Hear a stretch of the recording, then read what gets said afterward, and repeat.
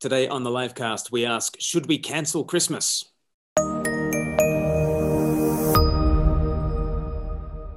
Hello and welcome to the livecast. My name is Glen Scrivener, broadcasting here from Eastbourne and in Crowborough. Who do we have? Paul Feasy, still in Crowborough. Yep, Still in Crowborough. still with you, uh, joining you just lost some weight. You've what's what's the secret to, to losing so much weight, Paul? well, you have to grow a mighty fine handlebar moustache to begin with, or horseshoe moustache, um, which obviously carries a hefty amount of weight, and then just shave it off. And that's Big- it. Pounds. Were- were- yeah, were you were you um were you hesitating over with the with the razor as you were about to shave this off?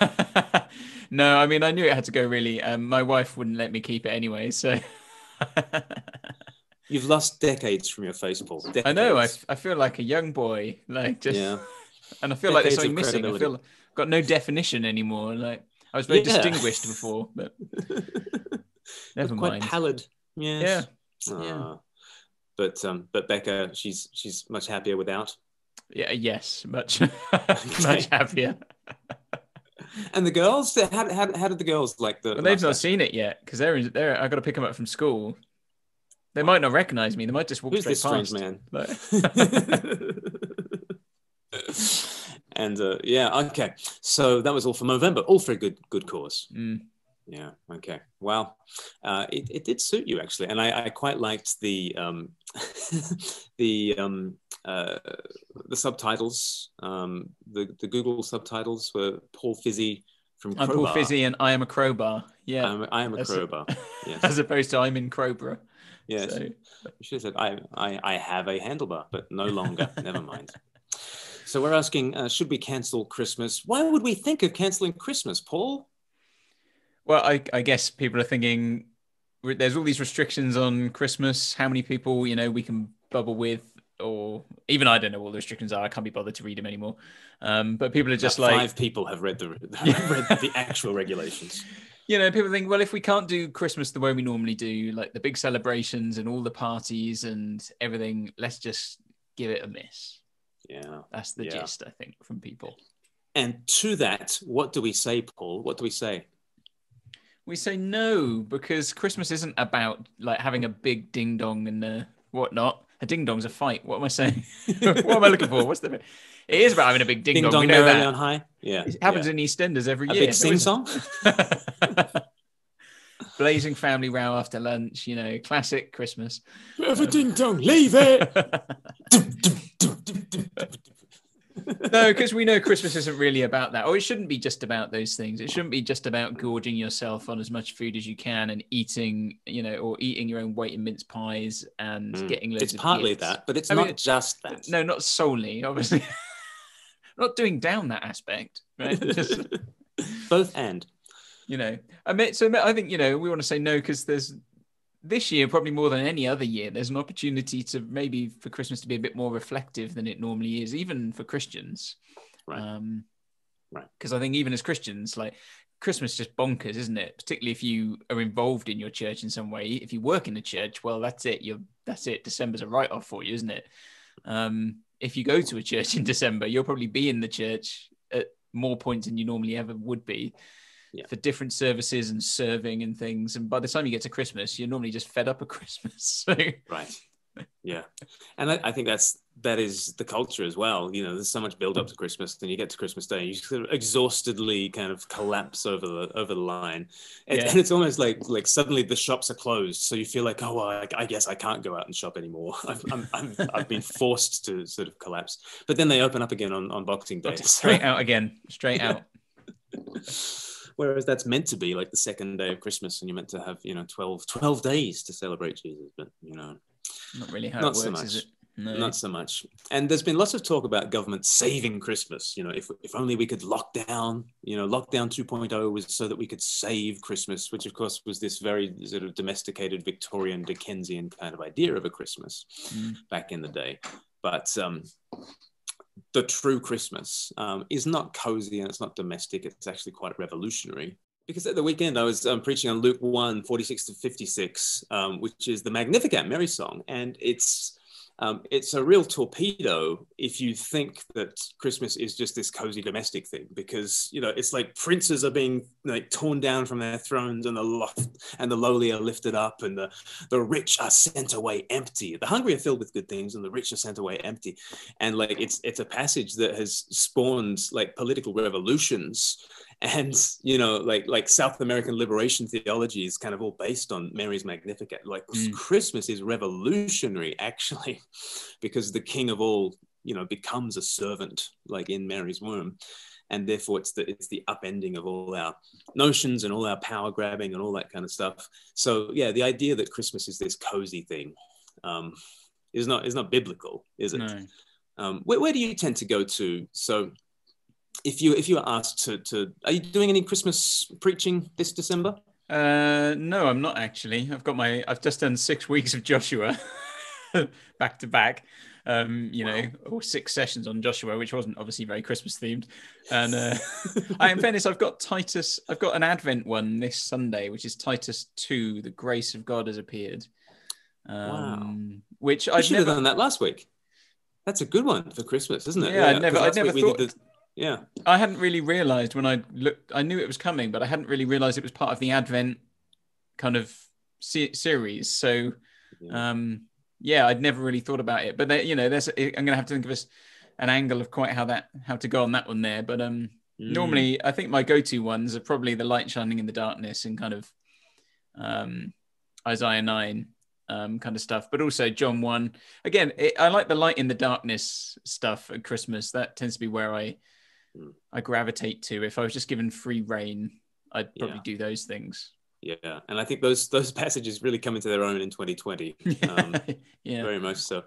So earlier this week, I uh, did an interview with Emma, my wife, and uh, we we talked about the difficulties of 2020. We talked about them, uh, particularly in the context of struggles with mental health, and then we uh, had to think about whether we should cancel Christmas this year because it's been such a terrible year. And uh, Emma speaks really warmly and wisely about her own past, about her mental health struggles, about the difficulties of 2020, and of why Christmas itself uh, is needed more than ever. So let's have a look at that clip. So we're thinking about hope in dark times, and uh, 2020 hasn't been the brightest of years. Um, so take yourself back to March 2020, and we're starting to take seriously a global pandemic.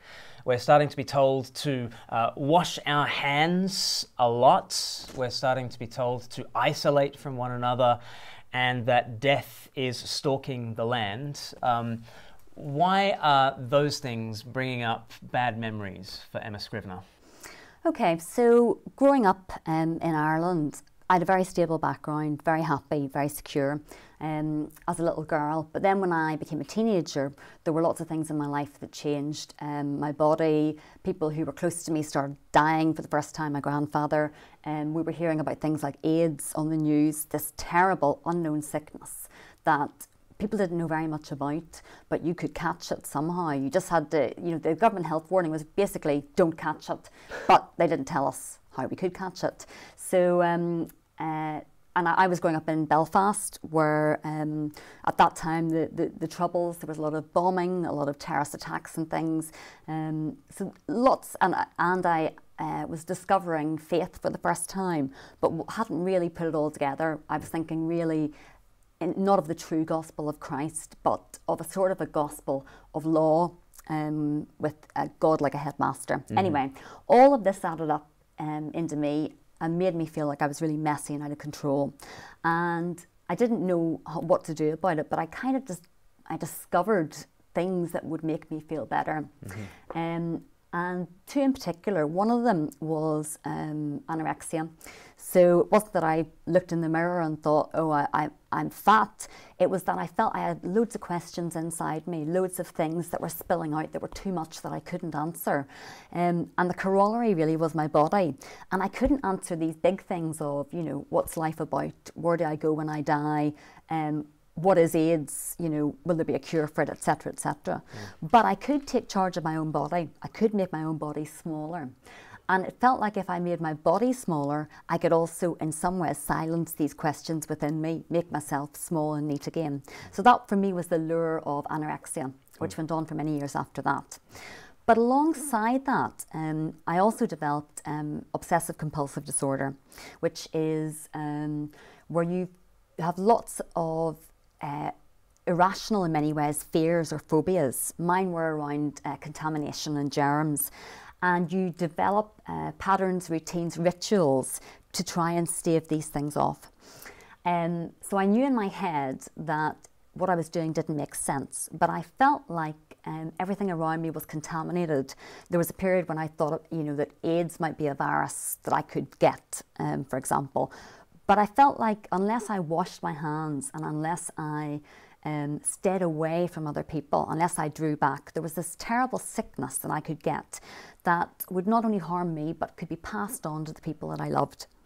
And the only way to try and stop it, the only way to take control, was for me to do these rituals of washing and washing, um, you know, washing my hands, washing my body in a certain way, over and over and over, uh, in a certain order, maybe you know, twenty or thirty times in a row to try and get it right. Mm. And if I thought the wrong thing, or I don't know, let's say I did my fingers in a certain order, maybe I, I did them in another order, I had to start at the beginning again, do it all over again. Mm-hmm, mm-hmm. So it ended up with me um, washing my hands, my body in bleach, and my skin cracking open, bleeding, and yet unable to stop because I felt that there was uh, such panic, such fear, and I didn't know how else to get a hold of it. Mm-hmm. Um, and so, March 2020, you know, the girl who um, kind of uh, in many ways got over OCD by being told, well, look, there aren't these bad things out here. You don't need to keep washing your hands. You know, there's not this terrible sickness, and um, it's not going to happen. It kind of happened. Right. You know, it, it became true. A the pandemic was stalking the land. Yeah. Right, and the, the, government's actually enforcing you to wash your hands and wash your hands seriously. Mm. You know and they're enforcing on you this kind of isolation as well. Uh, tell me how that was sort of striking you as, as we're going down into lockdown. Mm. Uh, what did that trigger in you?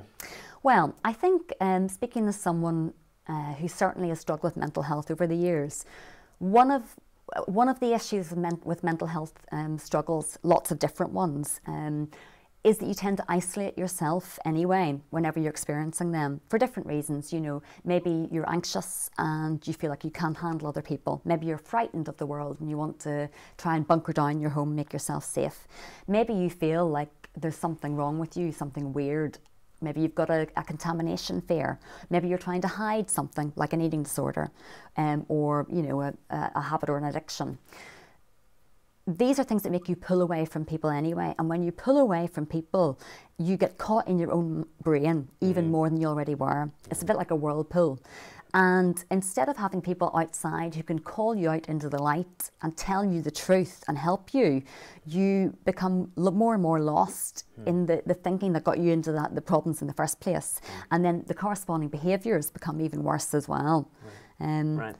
One of the things that's really helped you over the years, I guess, has been writing. And um, you've written a number of books about your own experience. You've got a blog at emmascrivener.net. And um, as lockdown sort of struck, um, you wrote this um, brilliant piece called Fighting Corona Brain about how you can fight back against these kinds of dynamics. And I just would love to get your reflections on some of these truths about how we can, at least, what is medicine for, for these times when our mental health is under threat. And the first thing you said is isolate physically, but do not isolate mentally. What's that all about? Mm. So it's interesting, isn't it? I mean, in the early days of um, COVID, we were really being told to um, uh, socially, socially distance. Socially yeah. distance, yes. Yeah. yeah, yeah. But in some ways, that's the very opposite of what we need to be doing. Yes, we need to be physically isolating. Mm. Absolutely mm. follow the government guidelines. We must do that. But um, we need to be reaching out socially. Right. Instead of uh, pulling back. And there are many ways that we can do that um, that don't involve close physical contact. Mm. So we can do it via Zoom, we can do it via letters, we can do it by phone call. Um, you know and that i think is absolutely crucial because it is isolating whenever you're away from other people. We need people. And i mean you know in our own in our marriage you're an extrovert and i'm an introvert. You know you love being around other people. And i would always have said put me in a field with a sheep and i'll be very happy. Mm-hmm. but i've discovered and then take away the sheep because yeah. Yeah yeah, yeah well i'll wave at it.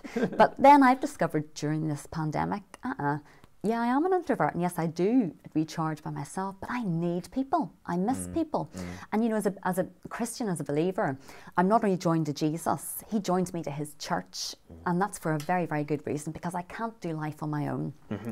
You've also said don't feed your anxieties. We would never want to feed our anxieties, would we?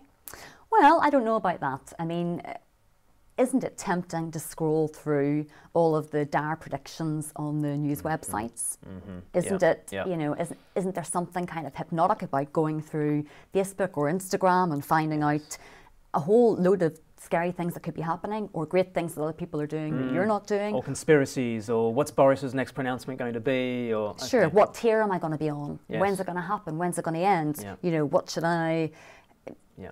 and that is before you even get along to the likes of Dr. Google. You know, um, oh, I've got a bit of a sore throat. Is it coronavirus? Right. Google on that. Yes, no. You It's know, probably no, Ebola. But it's yeah. Ebola. Exactly. exactly. okay. Um, so instead that. of yeah, limit it. Instead of feeding yourself things that will feed your anxieties or your fears, you know. Put a sensible limit on it. If you listen to the news, for example, maybe do it for one one reliable bulletin Mm-hmm. a day and leave it at that. If you find that you're um, you, looking through the, the internet or whatever is not helping you, then come off it for a wee bit. Yes. And certainly as a believer, fill your mind with truth. Yes, that's the next thing you say. You eat a healthy mental diet. Mm. What's a healthy mental diet?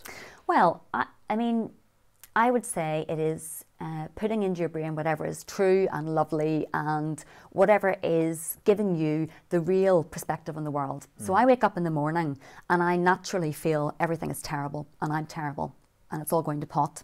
That's why the first thing I've got to do in the morning is to get my Bible open. And it's not for the sake of ticking a quiet time box. It is simply that everything in me says things are bad.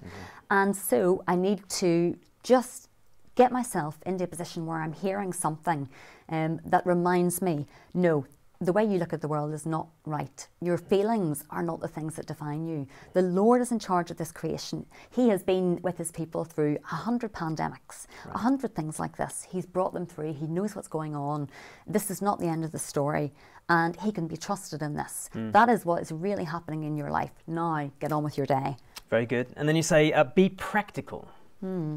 Yeah, practicality is, is pretty important. So, you know, all the usual all the usual boxes. If you take medication, make sure you've got some and make sure you know you've you don't need to I mean I like stockpiling things, so there is a limit to that. but make sure you've got plenty of the things that you need. And just be wise. It is really, really tempting in these times to try and clock off in ways you know that we wouldn't normally do. So maybe you'd feel like I'll finish off that bottle of wine where normally you'd have put it down after a couple of glasses, or maybe you think um, you know I'm going to be uh, throwing myself into more exercise than is good for me, or maybe I'm going to be comfort eating in a way that I don't normally. Mm-hmm. Yeah, Maybe yeah. I, I you know I, I'm Maybe I'll forget bedtimes and I'll forget rising times and I'll yeah. right. All, all of that So- stuff, which sounds really, you know, and all of this advice is really common sense, but it, it matters. It really matters. Yeah. So as well as feeding yourself the truth, you know, from the gospel, it's also just keeping an eye on how you're doing physically, checking in on, on how you're doing mentally, and just making sure those things are in place too. And as we look out for one another, that's something to be aware of. You know, is is my friend, you know, are they in healthy routines? Do they need help to, to maintain those sort of practical uh, guidelines? Um, great. Number six, remember, Jesus does not self isolate. Yeah, it's interesting, isn't it? Um, you know, I think about like Jesus meeting the leper, for example. And this is a man who has been socially isolated for all of his life. People flinch from him, he, he is sent away. When Jesus comes to him and heals him, he not only speaks to him kindly, he reaches out and actually touches him. And Jesus comes close to us, doesn't he, in, in every kind of situation. And so that's that to me is pretty amazing. Firstly, because before I can reach out to anybody else, I need to make sure that there's somebody who is that I'm relying on. You know what I mean? I, I'm, I'm. I, if you rely on my strength, there's going to be nothing there. But if I'm relying on the Lord's strength, then out of His fullness, I can also point you to Him. I can say, "Oh gosh, this is really hard, isn't it? Hard for you too. My goodness, but look, this really encouraged me about Jesus today." Or, "Can I ask you to pray for me on this? It's really hard." Or, Yeah, and it's, it's that mindset shift, isn't it? That actually Jesus is reaching out to me right now, even as I might have to self isolate, even as I, I might have to lock down. It, Jesus is reaching out in this moment, and, and Jesus is using 2020 to reach out to me hmm. somehow. Jesus is especially reaching out to you at this moment. I mean, it's interesting, isn't it? We've seen in the papers, you know, particularly at the moment, they're talking about Christmas should be cancelled, and um, hmm. you know, because Christmas is this time of festivities and celebrations, and if we hmm. can't do it the way we normally do it, then why should we bother? Actually, Christmas is all about uh, light in dark places. You know, eh, at Christmas time, we think of the famous verse, uh, the people who are walking in darkness have seen a great light. And Isaiah um, talks then later on about us a, child is born, a son is given. So Isaiah is writing to people who are in real darkness. The Israelites at that time, you know, they've been invaded, they've lost their homes, they've lost their temple, they're far from everything they know and love. And yet he says there's a light that's coming, a child that God is sending who will light the whole world. Um, now, what does that light look like? Does it look like a kind of an X Factor God who comes down strong and mighty and full of his armies? No, it looks like a pregnant young woman who is knackered and sleeping in a stable. It looks like someone who uh, is at the mercy of government edicts, just as we are, although she's being told to go somewhere and we're being told to stay still. um, and it looks like a nation in crisis as well. You know, we, we the nation have heard this great news about the coming rescuer, but so is the king. So he says, kill all the baby boys. That is a time of massive darkness, and yet in that darkness, this light comes. Um, a Lord who, even though we don't necessarily want the light, and that is the greatest darkness, isn't it? It's not just that there's the darkness outside of uh, suffering and death, even though that's huge. It's the darkness that's inside us. It's the fact that, you know, there's something in me that says, I don't actually want the light, because I know if I look inside, I don't find Princess Emma at all. I find something really ugly that I don't want to be seen. But the great news is, God sees me in my darkness. He sees my mess and He comes to me in it. Here is a God who comes to us in our broken world and brings us light. You know, who who says, Look, I, I will come and I'll be with you. And I will be with you in the darkness because that is a part of every life and it's certainly a part of the Christian life. And that's absolutely vital to say. You know, the this this idea that if you're Christian, everything is all sorted and there's Yeah. there's no darkness. That's a load of nonsense. You know, mm-hmm. Christians face mental health problems, physical health problems, all sorts of problems, the mm. same as everybody else does. But here's the difference: I know the Lord who is with me in that, and I also know that He will lead me through.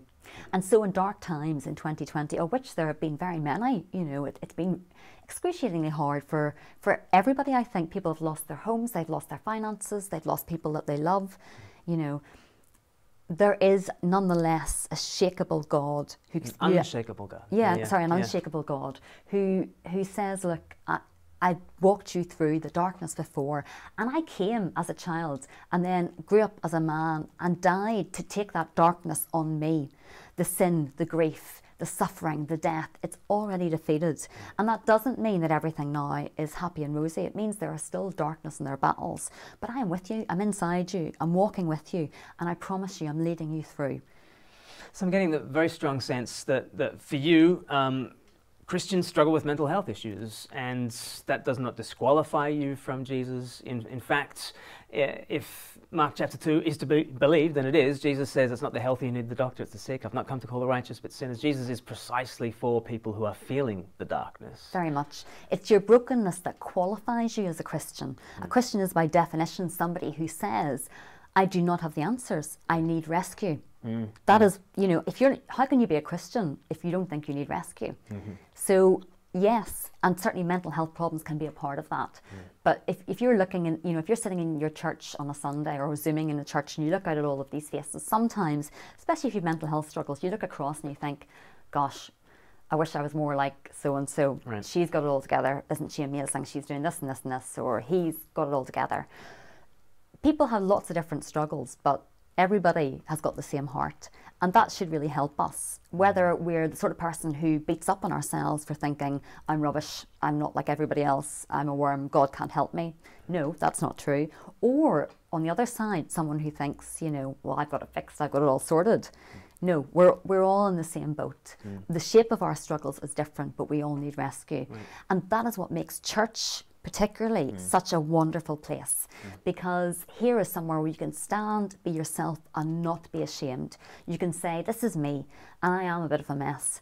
But you know what? I look to Jesus. You look to Jesus. Together we look to Jesus. That's our hope. That's our light. And it's dark, but we carry one another and we carry one another to Him. Right, because the people walking in darkness have seen a great light. Emma Scrivener, thanks so much. Thank you. So that was recorded as part of a London Institute of Contemporary Christianity seminar that uh, Emma and I did yesterday. And uh, you can go to licc.org and uh, figure out um, the, the whole of that seminar. But um, yeah, lots lots to process there, Paul. What what leapt out to you from from that interview? Mm. Well, I mean, I think uh, the, there's really good stuff obviously there. We'll, uh, we'll come into in a second on the what she talks about Christmas. I think there's just lots of really good practical advice for people though but you know, I know some people who have found this a really tough season um, mentally, um, and just some of the really practical things about you know we we talk about social distancing but we don't need social distancing. We can physical distancing fine but we need each other because we're people who are built for relationship. You know we come from a god who's father son and spirit. So actually we still need those things um, and not to feed your anxieties.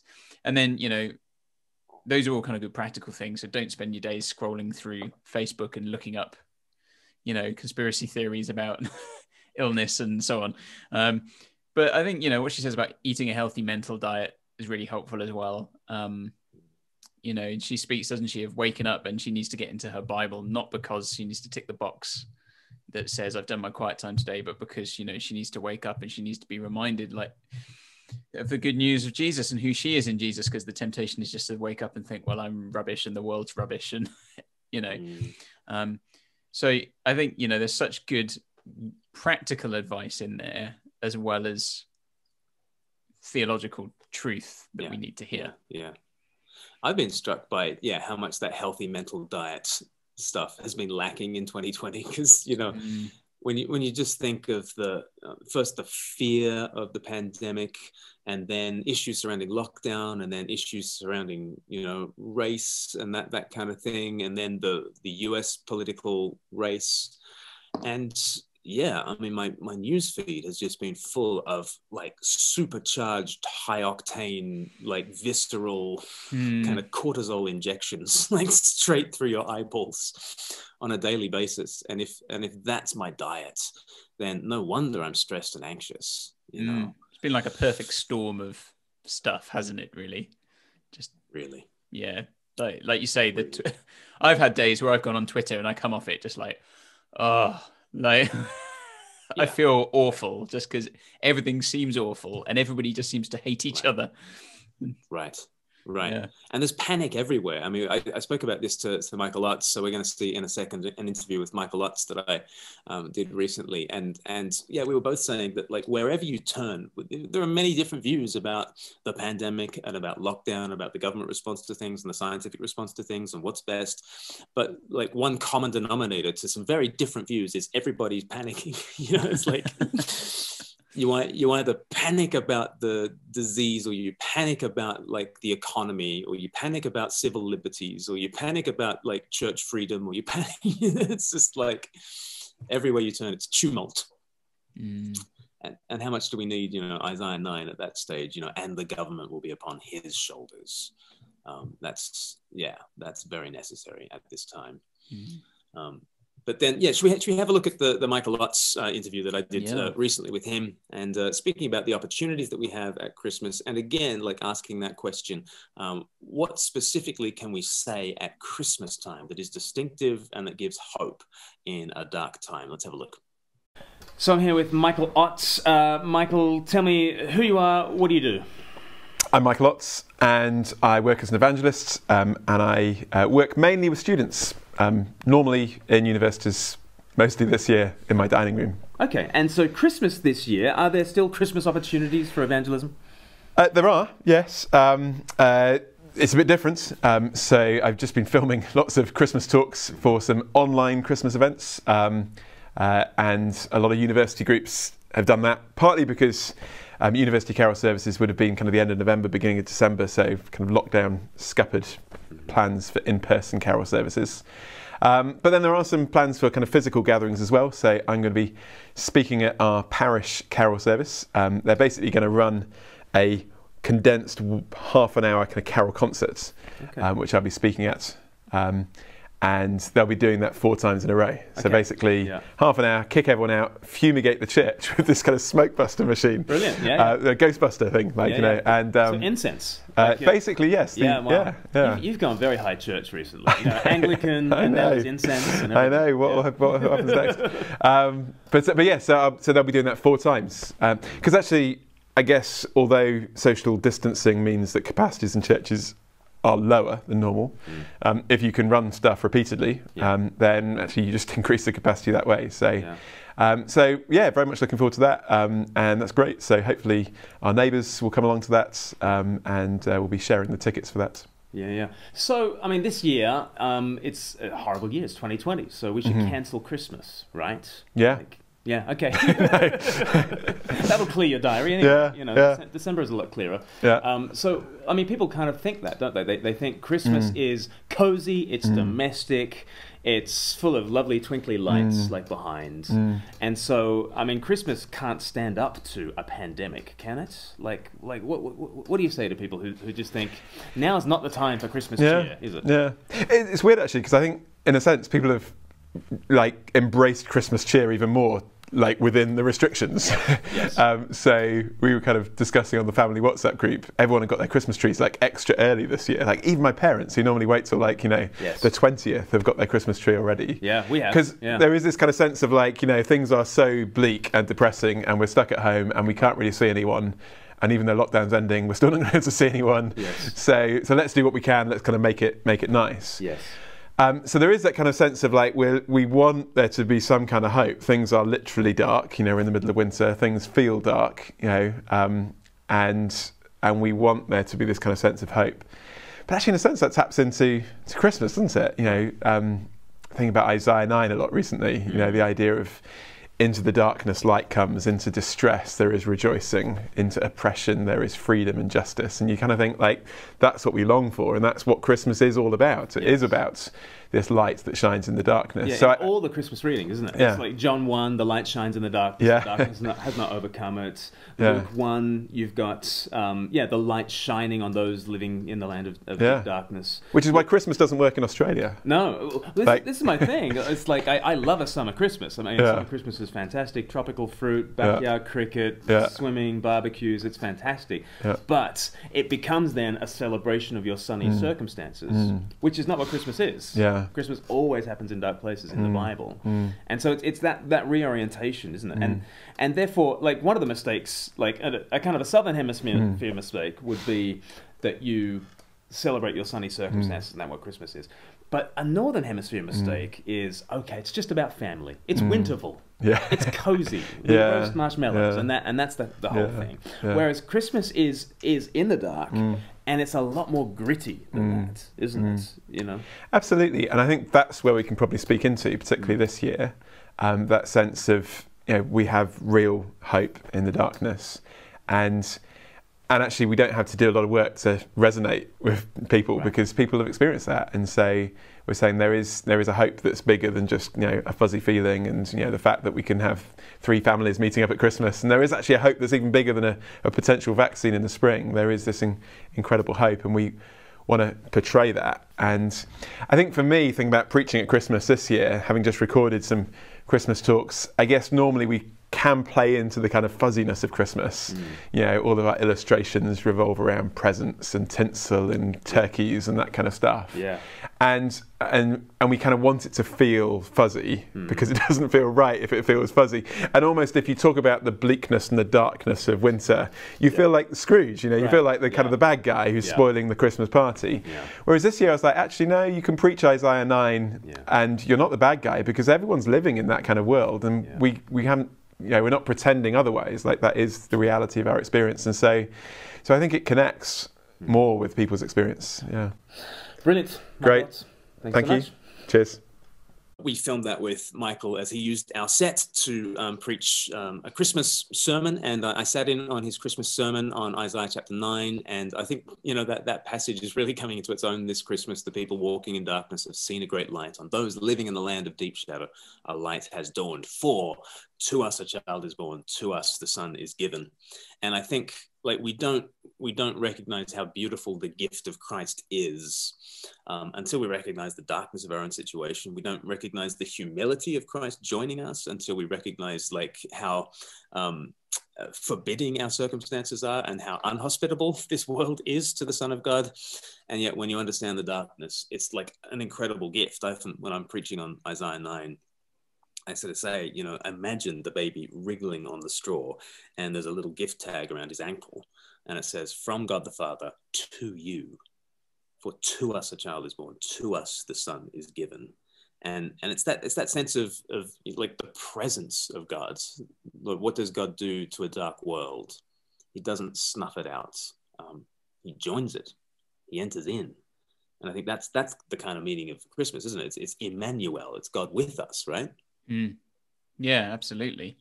And I think that's the thing for us, I suppose, that we can that can help us through these times. That even though things this might be a rough year, and for some of us, it, we've all had a rough year in in one sense, and some of us have you know been able to kind of just get by and carry on. Others have found it much more difficult, and will continue to find it difficult.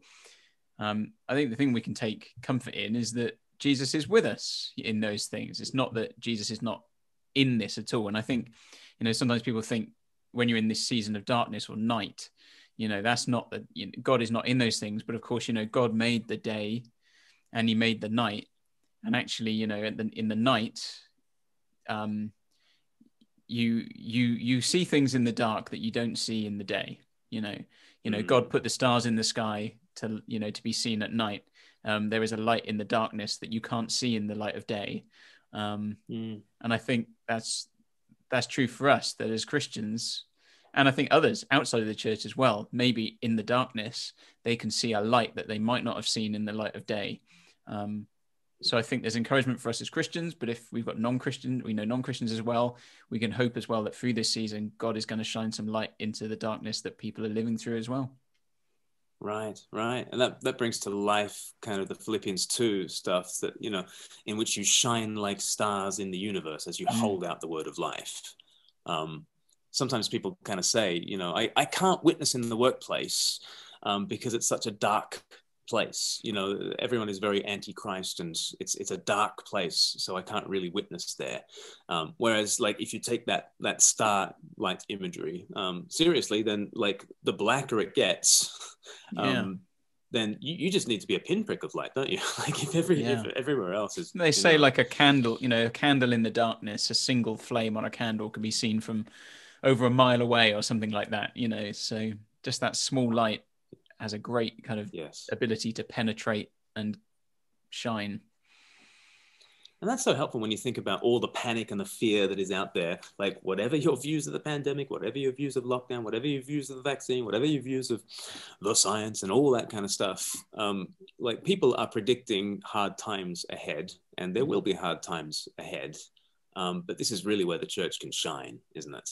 Yeah. And 2021 is a time for the church to shine, and we might feel we're too weak to do that. Well, a flickering candle um, can extinguish the darkness in a room. So mm. let's uh, keep clinging to Christ and uh, and shining His light out.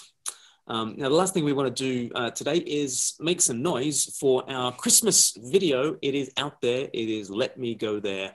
And uh, it's our little attempt to summarize Christmas. What is Christmas? Christmas is a quest that the Son of God volunteered for. And uh, though it cost him everything, he said to the Father, Let me go there.